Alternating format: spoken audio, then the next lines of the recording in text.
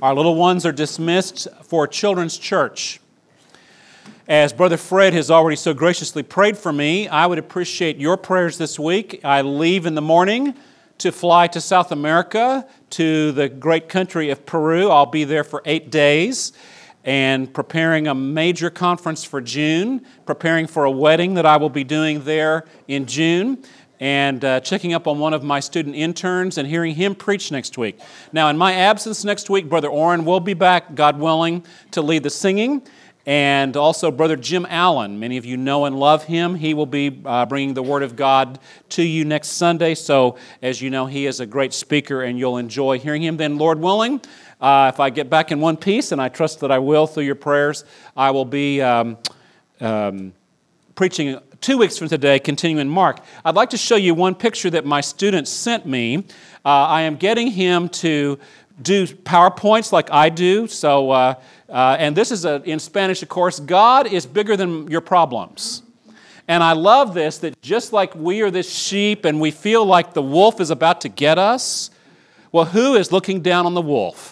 The lion. And so there's no contest between a wolf and a lion. So next time you feel like your problems are going to overwhelm you, just remember uh, the wolf's not going to get you because the lion, uh, the Lord Jesus Christ, is there. So I just love this. But anyway, this is from his PowerPoint presentation in Spanish, of course. So thank you for your prayers for me next week.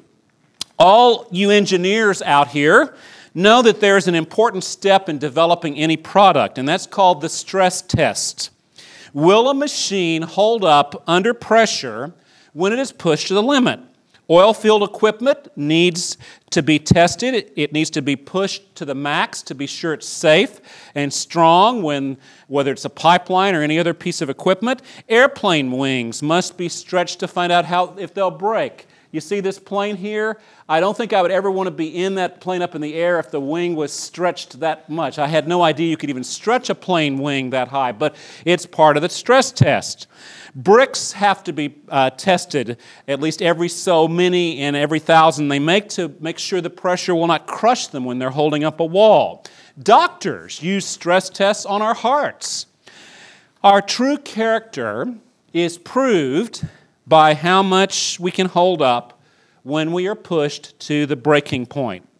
Last Sunday, as we began studying in Mark chapter 3, we saw how the growing antagonism toward Jesus that had been uh, developing over the uh, past weeks uh, came to a head when he healed a man on the Sabbath. As a result, Israel's religious leaders, the Pharisees, began to plot to do away with Jesus. They joined forces with their worst enemies, the Herodians. The Herodians were a political party, corrupt politicians and uh, cronies of the King Herod's family, and so they were going to join forces to do away with Jesus. So, how did Jesus respond to the stress of knowing that from this point on there was like a mob contract on his life, not by criminals, but by the leaders, political and religious, of the nation. How did Jesus react to the pressures of being wildly popular with thousands of people flocking to him? Well, today we're going to see how Jesus responded to that kind of stress and pressure in the next passage in Mark chapter 3. So, to reduce my stress level and our stress level, let's pray. And would just one of you, just silently, or several of you, pray that this microphone will not act up again like it did last week. So let's go to the Lord in prayer. Would you join me? Father, I just thank you for your word and how just reading your word can reduce our stress levels. And I just pray, Father, for any of my brothers or sisters here, my friends, who are undergoing stress in their marriage, on their job, uh, in their studies, uh, with their family, Lord, just personally in their minds or hearts, or for any other circumstances, that you would use this message to be an encouragement as we look and see how the Lord Jesus responded to pressure, and as how we can, as we walk with Him, we can turn our burdens over to Him, even as we sang in these wonderful hymns. So, Father, now go with us and teach us through your Spirit as we study together this morning. We ask this in the name of the Lord Jesus. Amen. Today we begin a new section of Mark's gospel. Now, you most of you who see me regularly, you know I don't use a formal outline. Most of you have really good study Bibles, and if you look at the beginning of the Bible books and the uh, study Bibles, they have great outlines. But you know, um, if I see too many outlines, this, uh, let's throw up our next slide, the Roman numeral I, double I, triple I, or the uh, letters A, B, C, or Roman numerals 1, 2, 3, I feel like Clarence, the cross-eyed lion in the famous TV series. I just, it just goes all blurry for me. So I don't use many of those outlines, but I do want to give you a, a much more simple outline today. Uh, and let's review where we've come so far in Mark. In Mark chapter 1, the first 13 verses, these basically introduce us to Jesus as Israel's Messiah. Now, I called him, as we in this series, God's secret agent, because most people didn't know who Jesus really was. So, in those first verses, Jesus is introduced to Israel. Mark introduces Jesus to his readers by John the Baptist. And so at Jesus' baptism, God the Father, God the Holy Spirit actually do reveal who Jesus is because God the Father says that Jesus is his beloved Son. But then in Jesus' temptation by Satan, over 40 days, he proves who he is by withstanding every temptation that Satan can throw against him. Then, the early chapters of the Gospel of John we find out that Jesus had a ministry in Judea. It was a very quiet first year of his ministry. He met his first disciples. They began to serve part time with him while working on their jobs part time. And two famous incidents you remember Jesus with the woman at the well, Jesus talking to Nicodemus, a very difference between this woman and this man. Those private conversations, all of that is what took place in that first year of Jesus' ministry. Then in Mark chapter 1, 14 through what we studied last week, is often called the early ministry of Jesus in Galilee. He calls his disciples into full time ministry now. He preaches, he miraculously heals, he drives out demons, and he becomes wildly popular, but with the people in Galilee, in the north of Israel and the antagonism of the religious establishment begins to grow against him. Now, today, we come finally to the next section of Mark, from chapter 3, verse 7 on through into chapter 6. And this is what people call Jesus' later ministry in Galilee. When I return in two weeks, God willing, we're going to see how he calls from that larger group of disciples 12 men to be apostles sent out like missionaries. And we're going to see how his ministry today grows not just popular within Galilee, but the whole country and even beyond. But most important in these next chapters, as we study, Lord willing, in March and April, Jesus begins to polarize people more and more. They are either for him or they are against him. And we're in for some surprises as that because when we come to Jesus' family, how is his family going to react to him? We'll see some surprises there. In our modern world, we prize neutrality as a virtue. A person who refuses to take sides in an argument is applauded for their fairness, their objectivity, perhaps being a peacemaker, and there's many occasions where that's a great thing. But no one is truly neutral. In World War II, Switzerland was praised for not taking sides or entering in the war. As you see these beautiful scenes in Switzerland, you almost expect Julie Andrews to come walking over the hill singing, The Hills Are Alive, with the sound of music. But what turned out? Switzerland, that didn't take sides in the war, hid millions of dollars of Nazi money in Swiss banks. So nobody is truly neutral. And the Bible tells us that before the second coming of Jesus Christ, that every man, woman, and child on earth will, on pain of death, be required to either side with Christ or side with Antichrist. So that day will come. Friends, I just want to challenge you that there are not two sides God's side or Satan's side. There's only one side God's. There is no middle ground when it comes to God. The man who says, I'm not going to believe one way or another, that man is rejecting God. The woman who says, I don't tell my children what to believe, that mother is condemning her kids to hell. Our choices either define us or our choices doom us when it comes to God and the Lord Jesus Christ. Now, you may ask, Frank, how is it that I can choose God? That is a great question. And we choose God by believing and trusting in the Lord Jesus Christ as our Savior, Lord, and God. That's how we choose God by choosing His Son, the Lord Jesus Christ.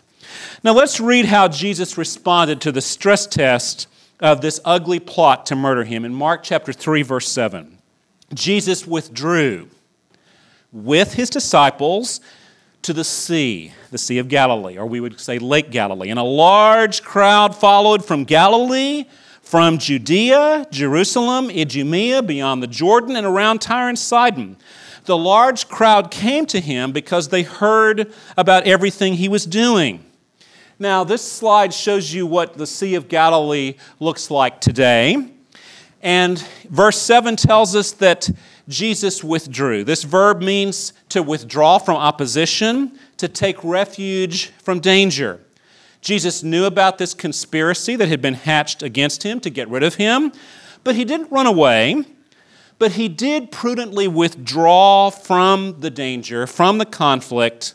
He didn't hide, he stayed out in the open, but he didn't hang around either. You remember in our study last week, Jesus briefly confronted the religious leaders, but he didn't argue with them, he didn't fight them.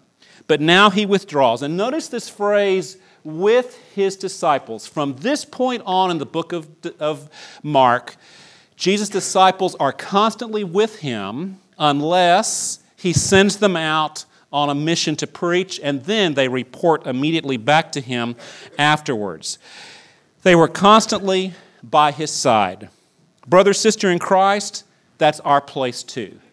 Just as this said that, that he was with his disciples, that is our place as Jesus' disciples. Is that how you view your life as a Christian? Whether our path involves joy or sorrow, victory or defeat, Jesus is beside us, Jesus is within us, but equally important, we need to be with Him, following Him, living closely to Him. How do we do that? Well, by spending time in His Word, by talking to Him in prayer, and by consciously depending upon Him. That's a hard, hard thing to do. But what I suggest to Christians is to make a habit of whether we are driving, whether we are working, whether we are talking, to frequently, I won't say how frequently because God leads us differently, but frequently, just think, Lord, I'm depending on you to speak through me, to use me to be a blessing to people, to react as, in a way that would honor you that conscious dependence upon Him. That is being with Him, following with Him. And of course, there's many other examples as well. The verb withdraw in verse 7 can also mean to retreat, like to take a break or to go on a retreat. Perhaps Jesus intended here to take a little vacation, to get away from the controversy, to spend some time with his disciples by the sea. We know how relaxing the water can be but it was to be short lived. A large crowd from everywhere started following Jesus. The local popularity that Jesus uh, experienced in his early Galilean ministry now grows to national stardom. Many of you remember the famous rock opera Jesus Christ Superstar. It was very super flawed theologically, but it was accurate in the sense that Jesus was famous in his time in Israel. There had not been a prophet speaking the word of God in Israel for 400 years since Malachi. John the Baptist was known all over the country, but his ministry only lasted six months until King Herod put him in prison and then executed him. So Jesus, remember, remained pretty obscure in his first year, but now he begins to be known far and wide in his second year. People came from all over to see this amazing man and what he could do. And remember, this was in the days before the internet, before TV, before newspapers and radio. I'm sure caravans and merchants, as they carried their goods across the country and even out, were saying to people, Have you heard of Jesus? Do you know what he can do? And so, of course, people then came in droves to see him. Verses 7 to 8, Jesus lists, or rather, Mark lists, these huge crowds and where they came from. And I want us to go to a map here. Here, of course, is Galilee. Here's the Sea of Galilee, Nazareth, where Jesus was born. This is North Israel. So people came from this region. They came from southern uh, Israel, Judea. Here was Jerusalem, the capital. But Mark tells us they came from beyond. 120 miles south of the Sea of Galilee was an area called Idumea. This is where the old Edomites, the descendants of Esau, lived. And of course, King Herod and his family were from this area. We'll talk about that more in a second. Then across the Jordan east, Perea, this whole area, people came, and then way in the north, modern day Lebanon, Tyre and Sidon. Of course, Damascus and Syria, very much in the news today. So, literally, what's important here is not just people coming from within Israel, from North Galilee and from South and Judea, but from outside of Israel, people were now coming. Mark records this, I think, to show us that these areas, south, east, and north. Of course, the sun always set in the west on the Mediterranean Sea, like in California, the sun always sets on the Pacific. People came from these areas outside, and those were mainly Gentile. Mainly foreigners, non Jews lived in those areas. Who were Mark's readers? Mark's readers in Rome were Gentile Christians, believers from the Roman Empire. So, how thrilling it must have been for the people in Rome, Christians in Rome, to see, even in Jesus' ministry, Gentiles began to seek him. Gentiles began to find him. And of course, most of us here in this room are Gentiles. What a wonderful thing that Jesus not only came to save the Jews, but he came to save us as Gentiles. But unfortunately, as we read in the next verse, most of the crowds were not following Jesus for the right reason. They were seeking a superstar Messiah who could miraculously meet their needs. They were not seeking him for the right reason. Let's look in verse 9. This is a bit frightening as we look at this. Then Jesus told his disciples to have a small boat ready for him so the crowd would not crush him. Since he had healed many, all who had diseases were pressing toward him to touch him. Mark's vivid picture here is of a big commotion. People pushing, shoving, crowding to get near enough to see, to touch Jesus. The verb crush here in verse 9, pressing toward, literally falling on him. The idea is that because he's on the shore of Lake Galilee, they could have really pushed him into the water. Some people could have gotten hurt in this. So Jesus wisely tells his disciples to have this small boat ready in case he got thronged by this mob. Now, think with me. This solution is so typically ingenious of the things Jesus did. This was not the big boat that the uh, fishermen like Peter used that they could uh, trawl their nets from. This was like a skiff. It was a small boat that could handle Jesus and maybe one or two other men. Basically, it was an escape pod to get away from the shore. This is a bird's eye view of what that could have looked like with all these people crowding on the shore. You say, well, why didn't they swim out? You have to remember that in ancient times and for most of history, the majority of people did not know how to swim. Our modern swimming for fun, for recreation, for sports, that did not exist in ancient times. People were actually afraid of the water, so you had to be pretty brave to be a sailor to be a fisherman. Even the fishermen, many of them didn't know how to swim, or when they fell in, you know, that was it. And so, uh, but Jesus uses this not only as an escape pod, but also as a very interesting pulpit to preach from. So, extremely creative of how to deal with all these great people that came along. Verse 10, this word diseases, this is literally scourges are plagues, like when they scourged Jesus uh, during his trial. This is the, really the same word there. This is the most extreme form of illnesses, and Jesus, of course, was able to heal them. But notice something the word, he had healed many, he did not heal all. This is so important. Jesus sovereignly chose to heal some people, but not all people. Throughout Scripture, just because someone has a need, that does not guarantee that God will heal them. This is very important to be clear. The most important thing is for God's will to be done. And sometimes God's will is for Him to teach us things in an illness that He could not teach us any other way. So that when we pray, we should follow Jesus' teaching in the model prayer, Our Father, and His example in the Garden of Gethsemane. Our prayer requests should be specific. We should ask God to help, to heal, to deliver. But we should always qualify our prayer as Jesus did in the model prayer, as Jesus did in the Garden of Gethsemane, and ask for God's will to be done on earth as it is in heaven. Not my will, but God's will be done. That's not easy. But the way to get God's best is to let Him make the final decision. So we should ask for things, we should ask for God to heal people, but leave it in His hands. Because sometimes, you know what happens? Instead of God healing us or that person we love, He gives His grace, He gives His mercy so that we can bring glory to Him through what we suffer. We can bring honor to Him as we show patience and endurance, just like Jesus did when He was on the cross. Jesus did, God did not deliver Jesus from the cross. So, who are we to demand that God always deliver us? Sometimes He does, praise God.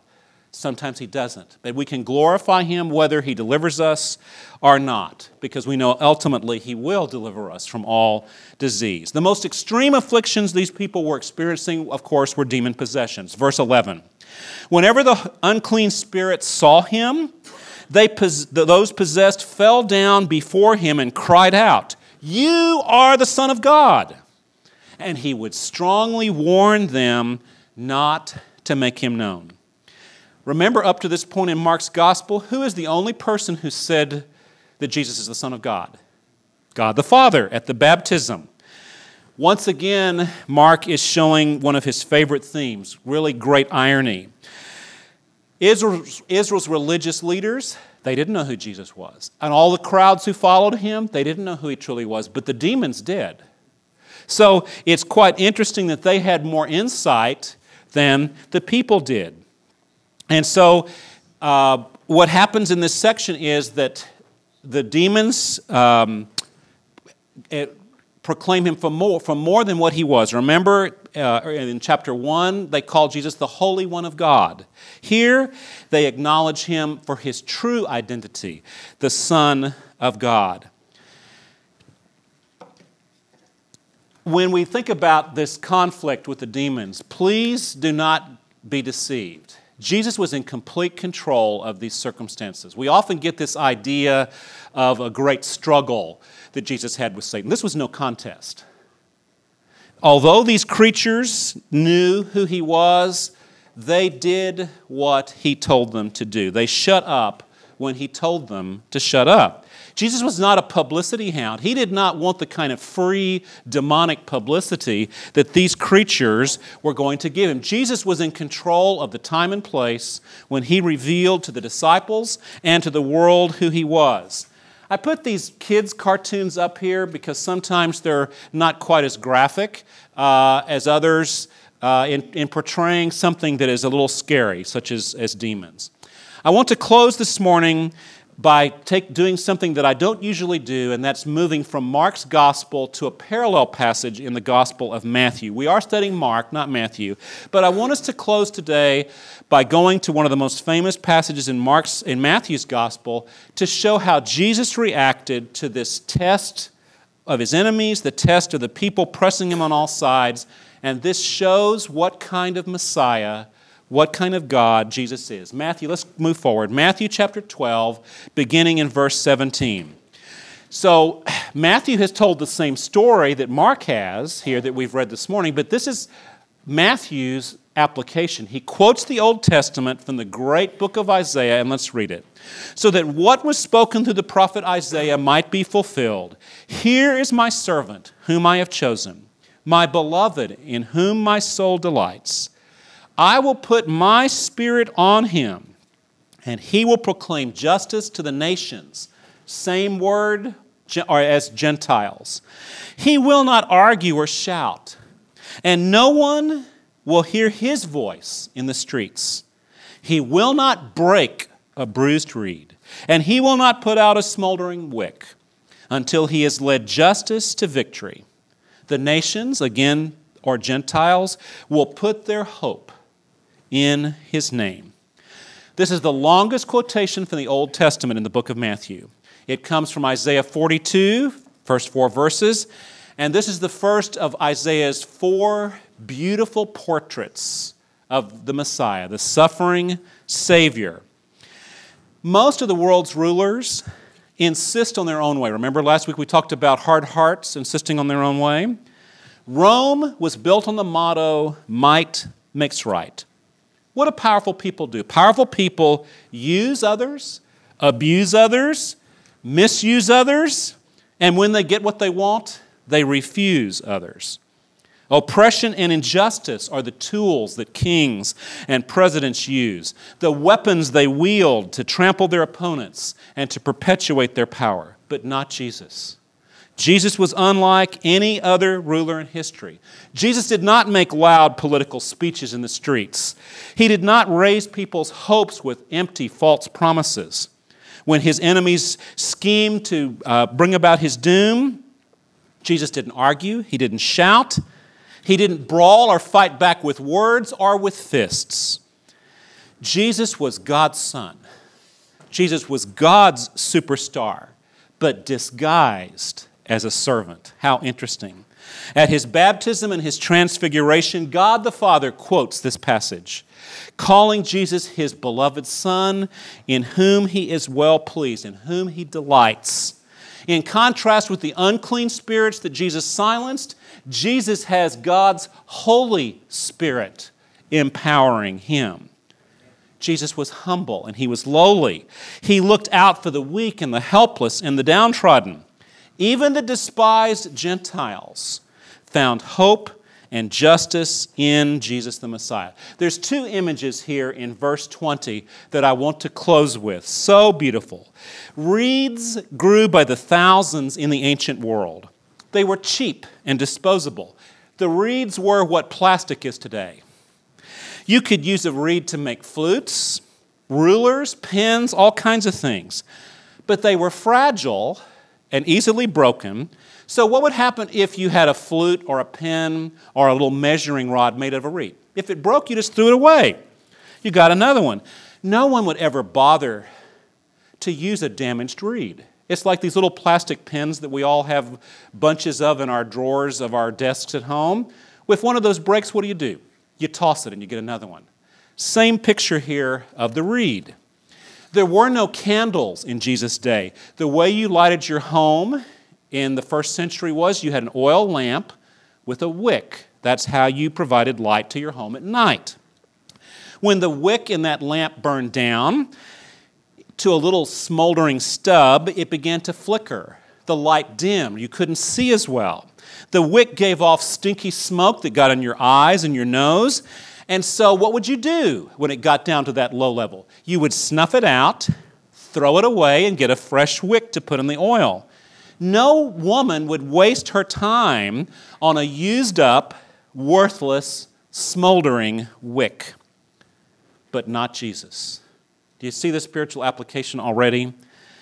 Jesus won't break wounded spirits. He won't put down damaged lives. Jesus doesn't give up on people that we think are hopeless or useless. Instead, Jesus provides hope, justice, and victory, not just physically, but spiritually and eternally. And how is it that Jesus accomplishes this great feat? because on the cross, Jesus' body was broken, his blood was shed, his life was snuffed out for you and me, so that our sins could be forgiven, so that we could know him eternally in a relationship with God. Jesus endured the ultimate stress test on the cross so that he would relieve us of the pressure of bearing our own sin and our own death in hell forever. He bore that in our place. And God asks you to believe that He did that for you as He died on the cross. And then, of course, He arose again to prove that He was successful, that He can give us not just life now, but life eternally. And as Christians, Jesus is not our miracle worker to rescue us out of every mess we get into. Yes, Jesus rescues us from many messes. Praise the Lord. But Jesus is our Lord, He is our Master, and as His disciples, it is our duty and privilege to stay close to Him, to be with Him, to follow Him, not just for what we can get, but so that we can learn what His heart is like, so that the way He treats people is how we can treat people as well. That when we encounter broken lives, the smoldering, worthless, useless people that we often meet, that we will treat them just like Jesus has treated us. Because as you know, many of us here, our lives are the broken reeds and the smoldering wicks that Jesus has not thrown away, but that He can use for His glory.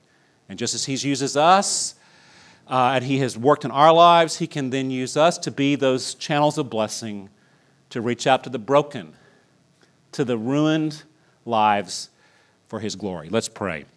Father, thank you for this great insight into the Lord Jesus Christ, what kind of Messiah He was, how He responded to stress and pressure. And I pray, Father, that as we encounter the stress, the pressure of our lives, of our families, of our jobs, of our school, of whatever we face, Lord, that we will learn as His disciples to react as He did for the person here who has never trusted in the Lord Jesus Christ. Father, help them to see clearly how what Jesus did for us on the cross and place their faith in Him for eternal life and the forgiveness of their sins. We ask this in the name of the Lord Jesus. Amen.